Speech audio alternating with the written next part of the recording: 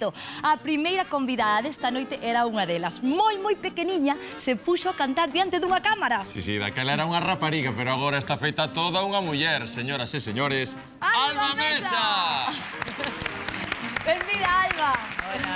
Que ben que estés con nós no Eicho Cantar, queridinha. Guapa. Que recordo tes desa primeira vez cando ti te puñeches a cantar diante dunha cámara? Pois a verdade é que o recordo é... Mm, A par patético que divertido, porque eu era unha cativa así e iba cun vestido de repolo que me comprou a miña nai, de repolo real, e empecé a cantar e os 20 segundos a xente empezou a aplaudir.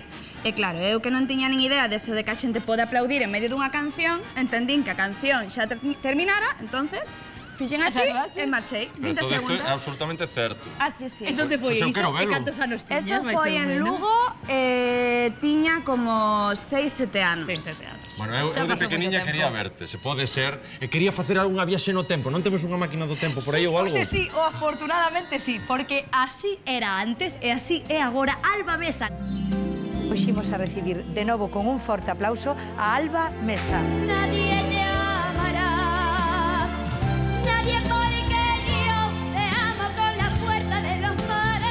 Que ainda que non acadara ningún posto, o público gustelle, para min é importante. É o a mí non me importa nin o importante. primeiro, nin o terceiro, ningún premio, importame o público. Claro. Argentina, eu nunca vos deixarei. Tercer premio de eh, la edición galega de los premios Veo Veo Sacobeo 99. Alba Mesa.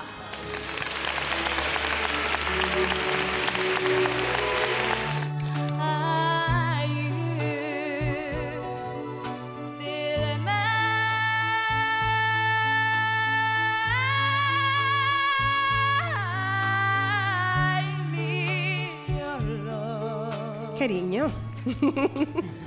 Qué guapa eres, ¿eh? Alba Mesa en segundo lugar. Pasan directamente a seguinte gala final de éxito. Moi contenta de haber estado aquí. E bueno, sabendo que, bueno, facéndolle saber a toda a xente que vou seguir eh, e vou loitar como loitei hasta agora. Loitando cara ao éxito.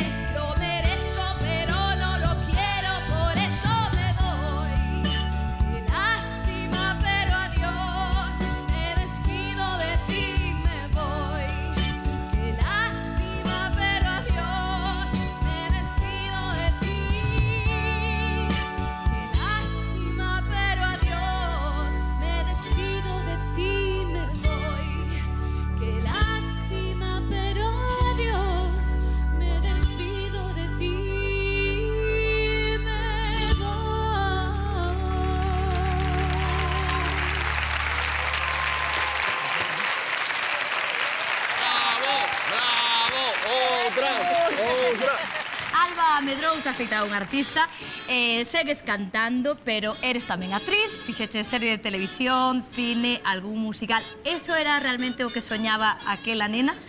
Eu creo que sí. Eh, De feito, eu se penso en como En que facía eu, en que xogaba eu cando Antes de empezar a actuar na tele Ou facendo teatro, que sexa Eu sempre actuaba eh, na miña casa, pois historias que se me que, que inventaba, personaxes, cantaba, o sea, era como un pouco un musical o que fue todo una que se está pasando ahora como sí, que se está cumpliendo. Sí.